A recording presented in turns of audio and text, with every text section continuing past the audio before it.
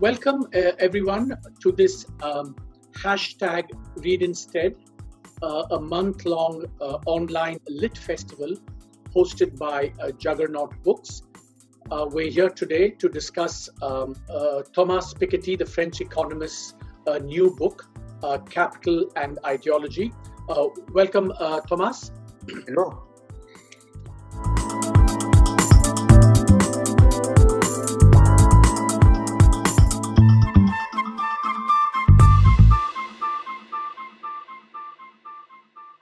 Uh, so let me begin by saying very quickly that uh, I'm a big fan of this book. Uh, as you all know, Capital and Ideology is a kind of thousand plus page sequel uh, to uh, his earlier book, which was a, a kind of a mega bestseller, Capital in the 21st Century. And for listeners, I want to say that you know these are two fairly weighty tomes. I would recommend that you read both. Uh, but uh, don't feel deterred about reading this one if you haven't read the earlier one. So you know, uh, so uh, uh, you should you should certainly read this book and don't be put off by not having read the prequel, as it were. Why I like the book? I like it for three reasons. Um, it's an absolutely sweeping kind of economic history of the world through the perspective of through the lens of inequality. and I think you know it's just magisterial in its sweep no corner of the globe is, is left un, uh, uncovered. You, you go through France, the UK, the US, Haiti, India, China, you name a country, Morocco, Algeria, it's covered in, in, in Thomas's book. I like it also because it's fairly uh, daring in its uh, ambition, which is nothing less than overthrowing capitalism uh, as we know it. And we'll talk about that in a second. And of course, third, uh, from the point of view of this uh, hashtag read instead, um, uh, it's it's a kind of fairly uh, uh, you know weighty and, and serious read, but it's leavened with literature. you know, in Thomas's first book, you had lots of references to Jane Austen and Balzac. Here we meet Chimamanda Adichie. We meet the, the, Indonesian magical realist Pramoedya Toer. We again come across Jane Austen, the Chinese novelist Liu Guo, etc., etc. So it's a it's a wonderful you know kind of thing for for people interested in literature to also uh, uh delve into this book. So Thomas, first question: uh, Are you happy with the reactions to you know this, given that it's a sequel? just tell me a little bit about what your sense of the reactions to this book. Yes, you know it's a bit it's a bit early to to say, but, uh, but, first let me say, you know, thanks a lot for what you just said. You know, I think I think this book is much better than the previous one. You know, I think I'm making progress, and I hope I will continue make progress. I, I should say one reason why I think it's much better is that it's uh, it, it has a much broader coverage. And my previous book was in, you know, had many limitations, but one of the main limitations was certainly that it was too much uh, Western centered. And this book is really trying to, to give a much more uh, global uh, perspective on the history of inequality regime, which has also contributed, you know, to change a little bit my view in the sense that now I, I stress much more the diversity of possible historical trajectory, the role of politics and ideology, and and, uh, and uh, you know I, I, think this broader uh, outlook, you know, has, has allowed me to to to have I think a, a deeper understanding of the historical forces shaping inequality. Uh, yeah, yeah, but uh, Thomas, I, I, I, I, agree with that very much. But I want to, you know, my first substantive question to you is, in fact, uh, related to that. I, I think a, a, big difference between, if I may summarize, between Capital 2.0 and Capital 1.0, if I may call it that, is that uh, you know, it, I mean, the big idea in Capital One was your famous almost immutable law, which which you know this R is less than uh, greater than G, therefore you'll get you know rising inequality over time. In this, uh, the difference, of course, is that you make it much more about politics, and in a sense, it's about you know choices that societies make or don't make. So it's much more a kind of not an immutable law, but agency. There is agency, possible trajectories, and so on.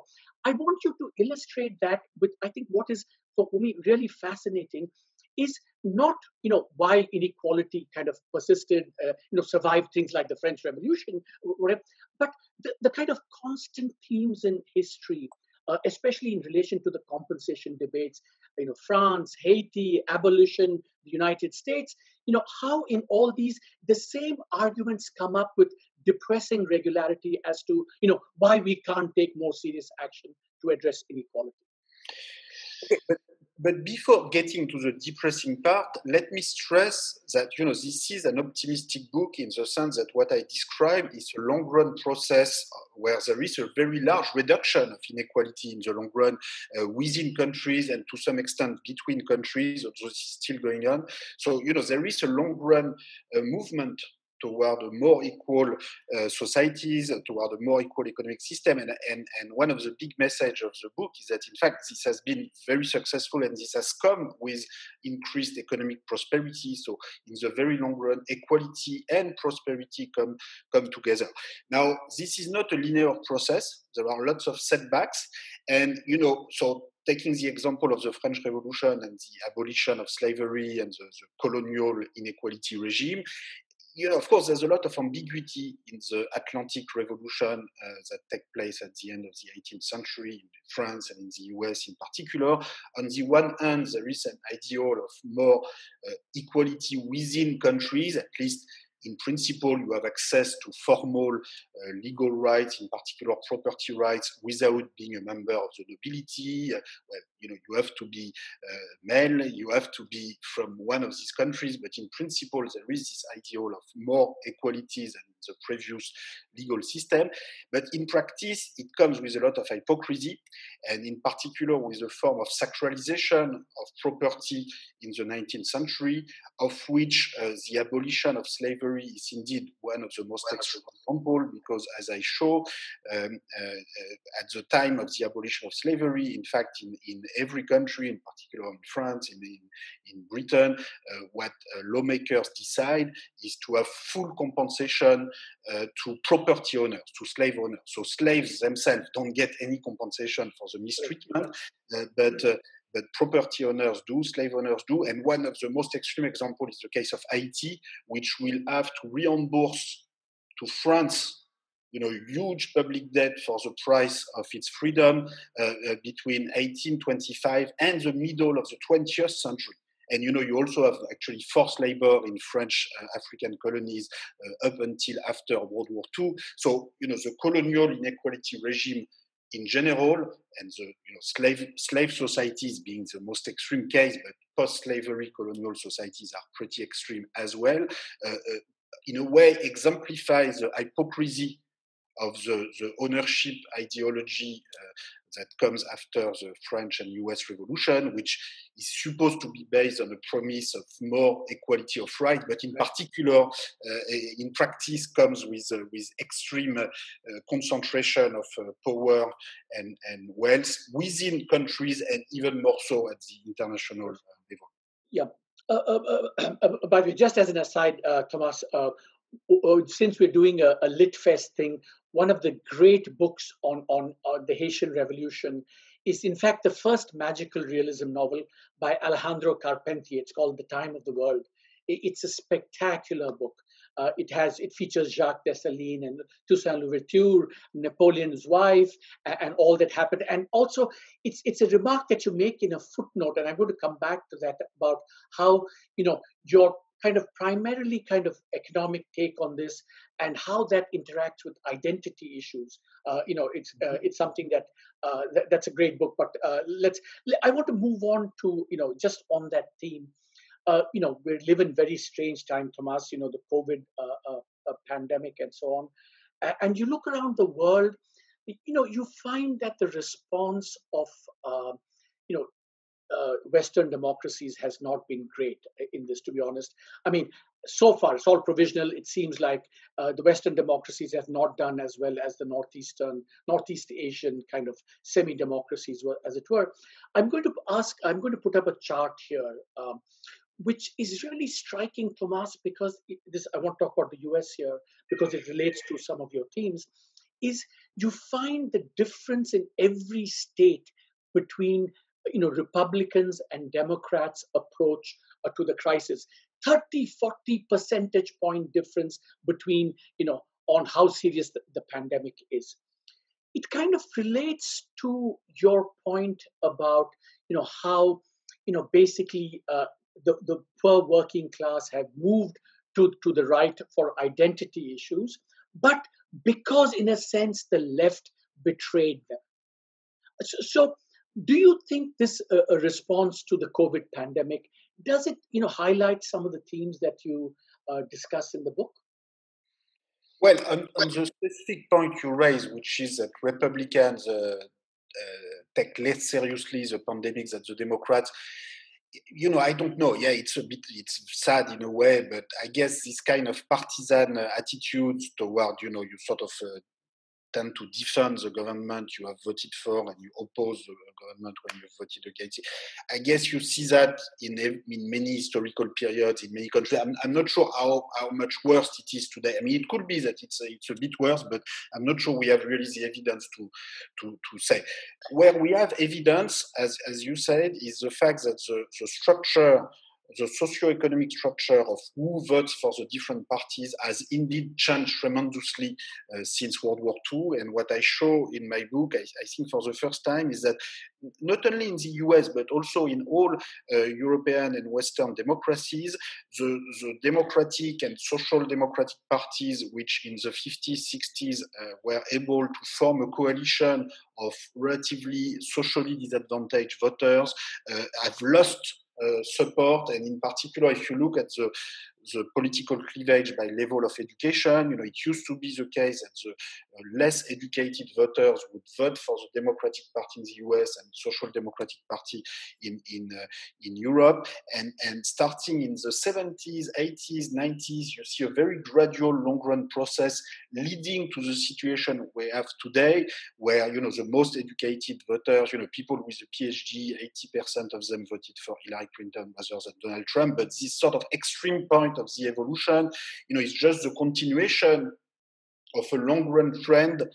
Uh, so it has little to do with Trump in itself, although Trump, you know, is a, is a perfectly, uh, you know, illustration and the, the, the situation today is, a, is, an extreme illustration of, of what I'm talking about here in the book. But I think it's a, uh, you know, you have a, a, long run evolution that's also happening in other Western electoral democracies, which I think is largely due to the fact that uh, uh, uh, uh social democratic parties and, and, and, the Democratic Party in the US were not able to renew their redistribution platform and in some cases just abandon uh, to a large extent any form of uh, redistributive ambition. And, and I, I, think this is particularly clear with respect to educational inequality, which in the long run is the, is the most important source both of uh, uh, reduction of inequality and economic prosperity.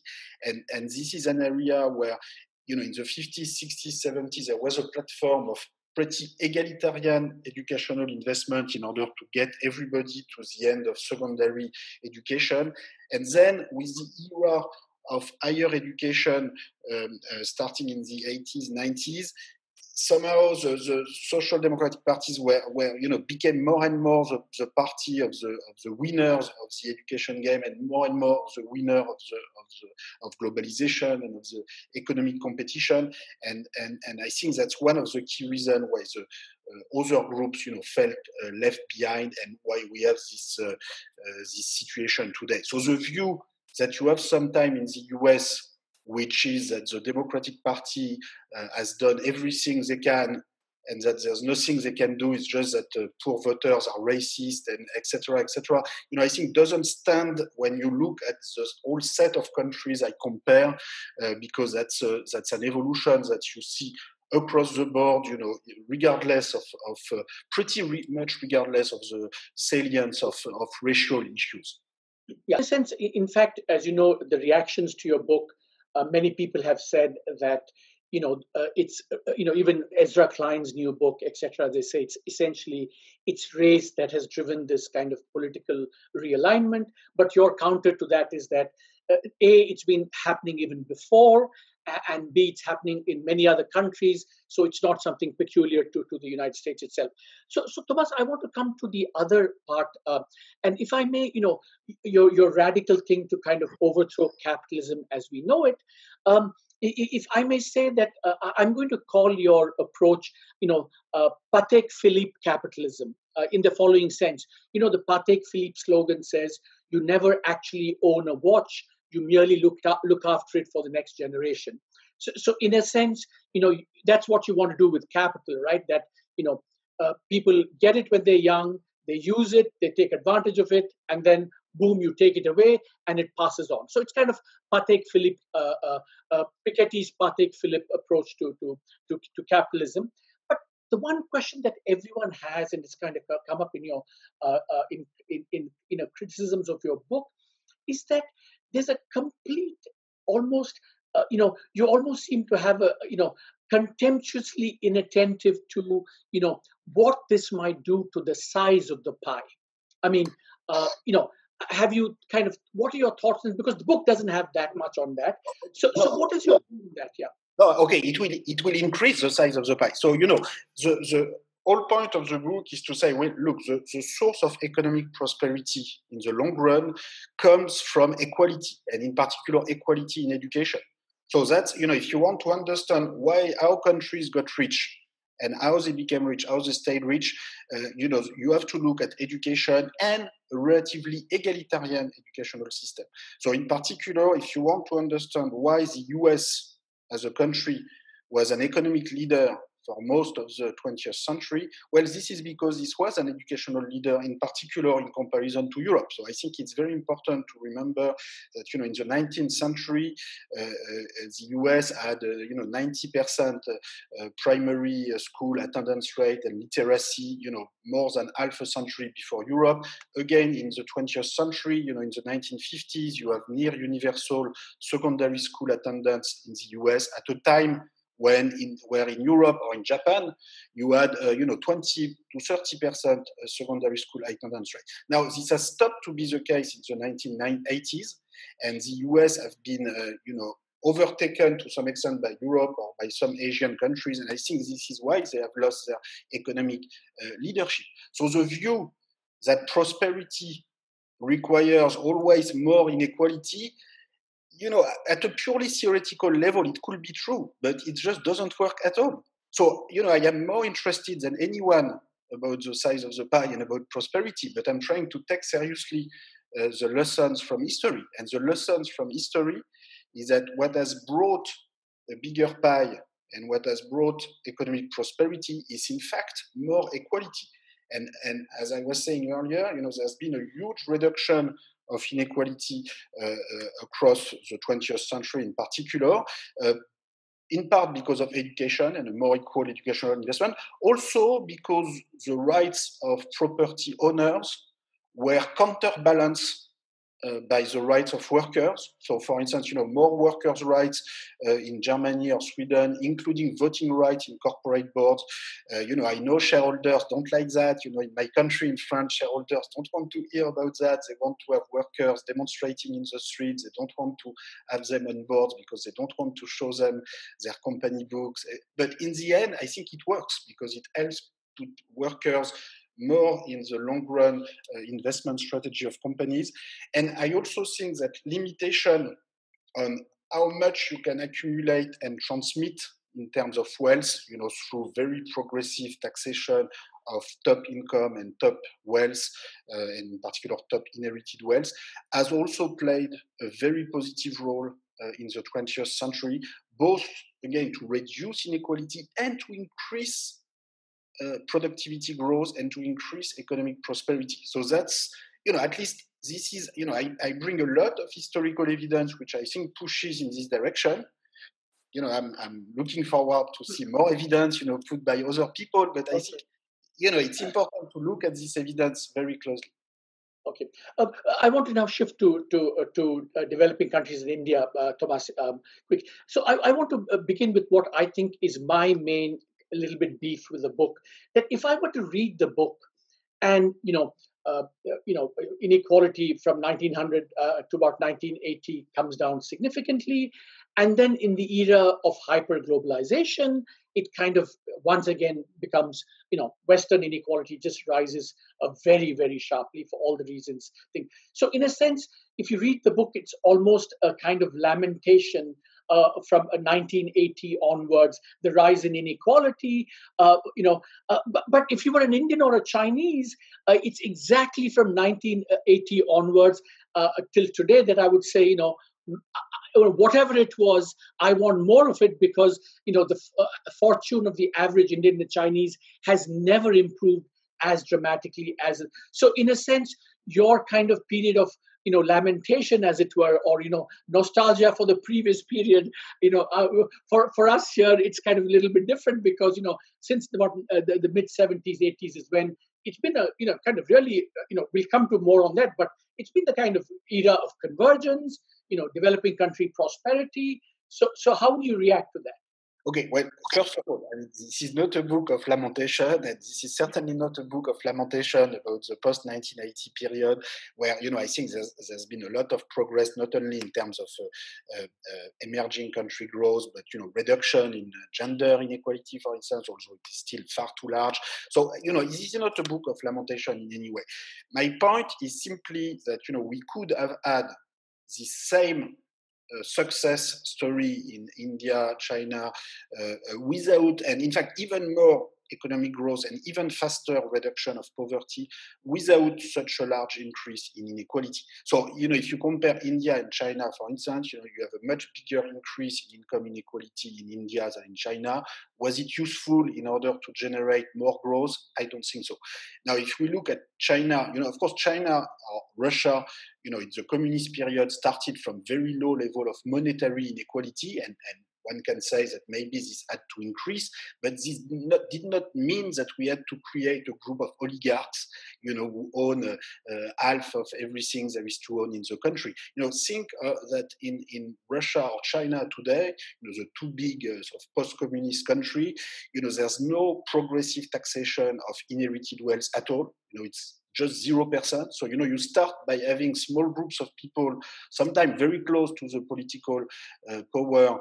Uh, uh, you know, you privatize um, a large part of the, of the company sector uh, to their benefit, and then they can transmit everything uh, with 0% inheritance tax. Is this necessary in order to reduce poverty? I don't think so. I think, in fact, we could have an even faster reduction of poverty in these countries uh, with with less inequality, uh, more uh, you know equal investment in education and health, more progressive taxation than what we have today, uh, less use of tax havens and you know financial opacity I don't think this is good actually for the development of, of uh, you know China in the long run to have so much opacity about who owns what in the country. So you know the view that uh, you know you can you can justify any level of inequality by the idea that this is necessary in order to get growth and in particular in emerging countries i think is far too simplistic. You know i'm not saying we want complete equality of course. You want some level of incentives but that cannot justify uh, i don't think this can justify the level of inequality in, in india today. You know, i think in india yeah. today you know there's far too much investment yeah, I guess so, Thomas, I guess yeah, sorry. I, I, guess the kind of um, you know just to uh, uh, uh, you know put this, uh, I think what you see because if you in real time in China and India, you know the last 30, 40 years for the average person significantly better than the previous 30, 40 years, right? I mean that you can't contest. Right, but you could do you could do yeah, much exactly. You're saying, yeah, you're saying, you know, uh, you you could do better. You know, a kind of counterfactual history where you know uh, different sets of policies are followed, and, and you know, uh, uh you know, but it is it is noteworthy that uh, you know yours is a, a, little bit of a counterfactual argument, uh, whereas in real time people would say, wow, this is you know. you know, I, I, I, this is really a, a kind of great.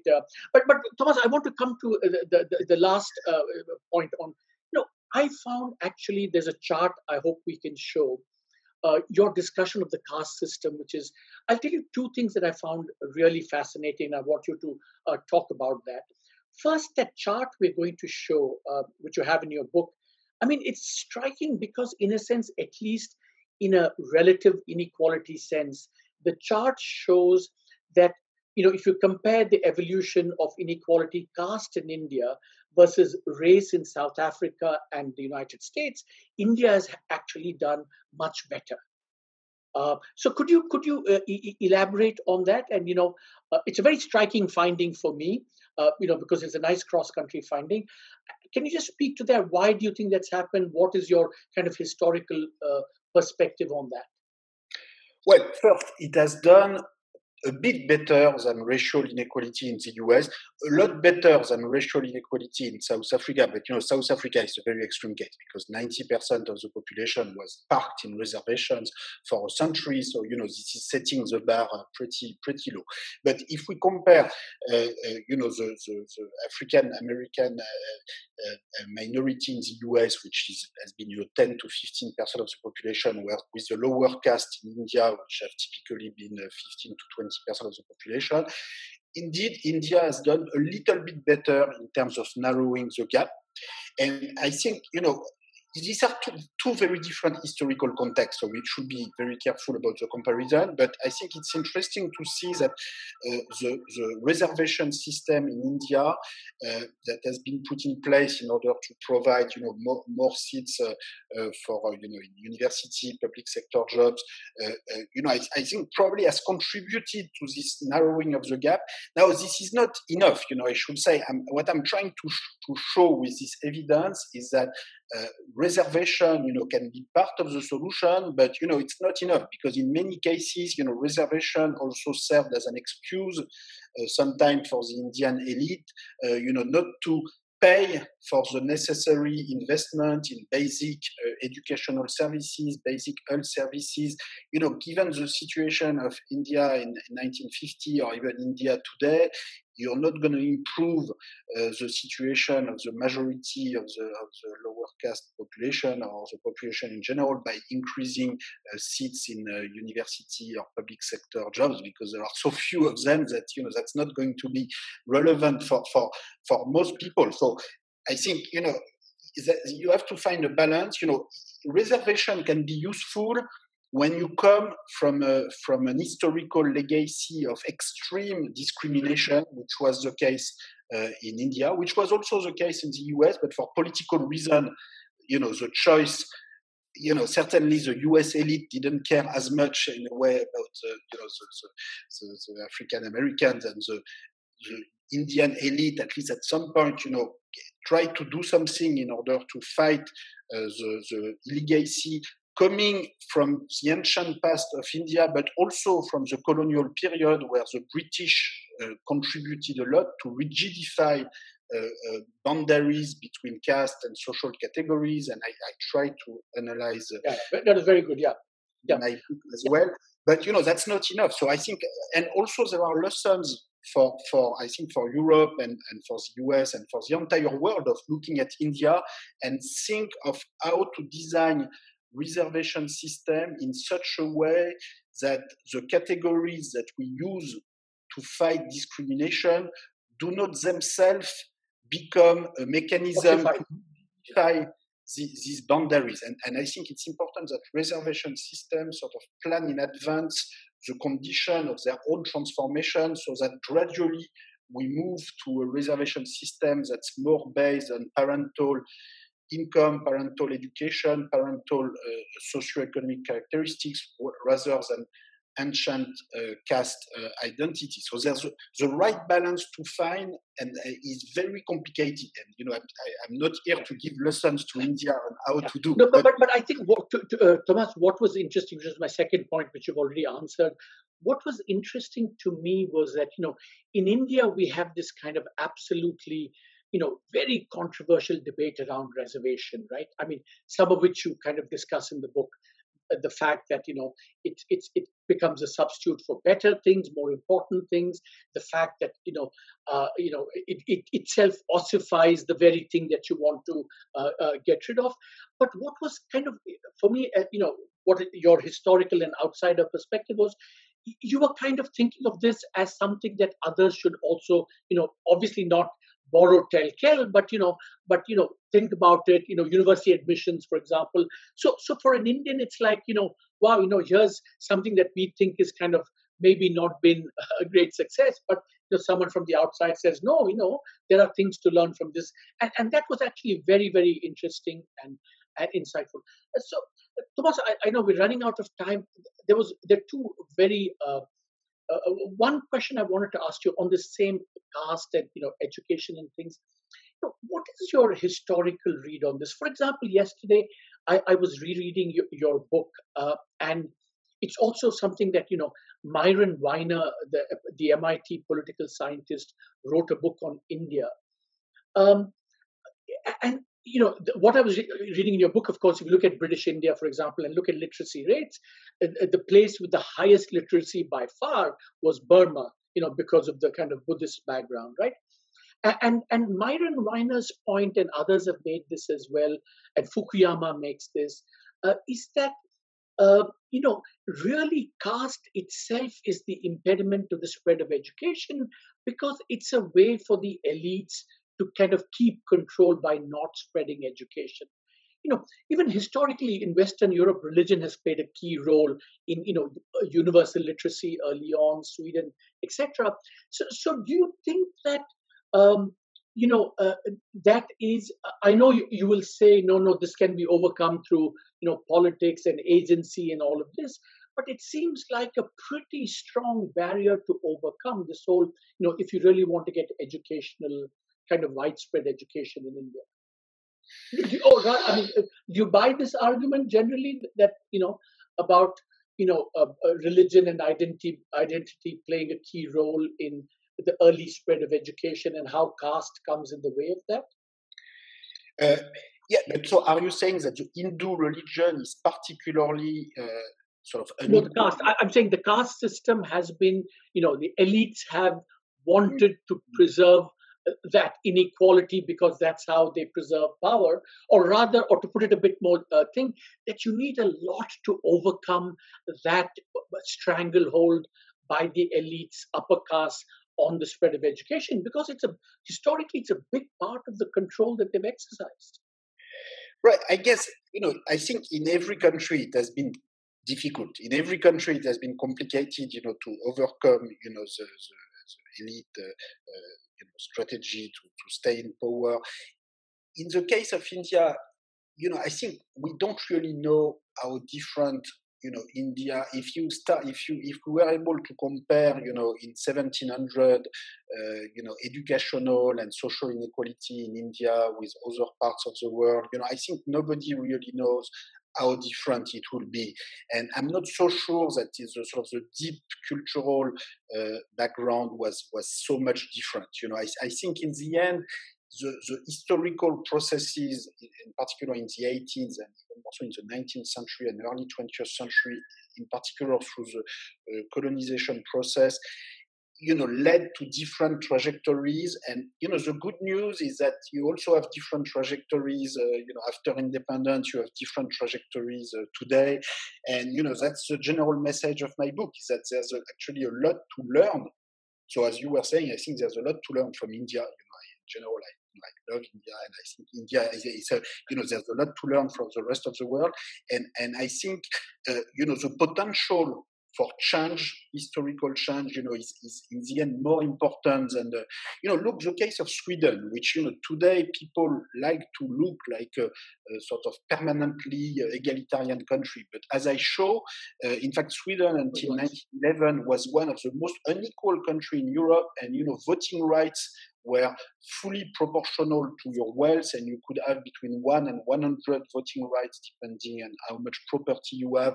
And, and, and in municipal elections, there was even no upper limit, and you had several dozen municipalities with one individual at more than half of the vote in a perfectly legal manner. So, and if you had told people at the time, you know, that Sweden was going to become a social democratic Sweden with the uh, most equal country in the world, you know, nobody would have believed it. So the you know, mobilization, in particular social and political mobilization, can can bring uh, change much much faster than what the, the dominant discourse and in particular the elite group always tend to describe as being sort of natural inequalities and permanent inequalities which cannot be uh, which cannot be changed without uh, you know major destruction or major damage to to, to societies.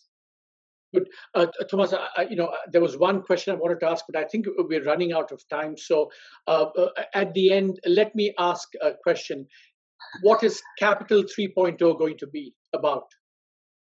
Ah, this I don't know yet. You know, I, I need time to, to get more work done. But, you know, certainly, you know, I learned a lot from this discussion. I, I would, you know, like to thank you for the discussion.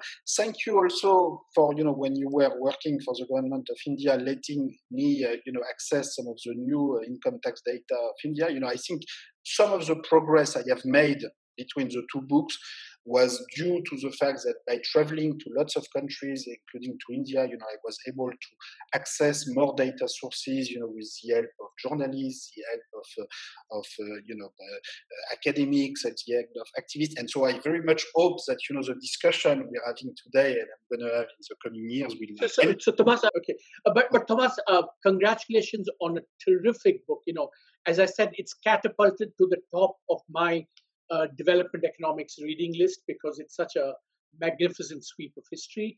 Uh, we look forward to to more uh, uh of you know this from you in the future.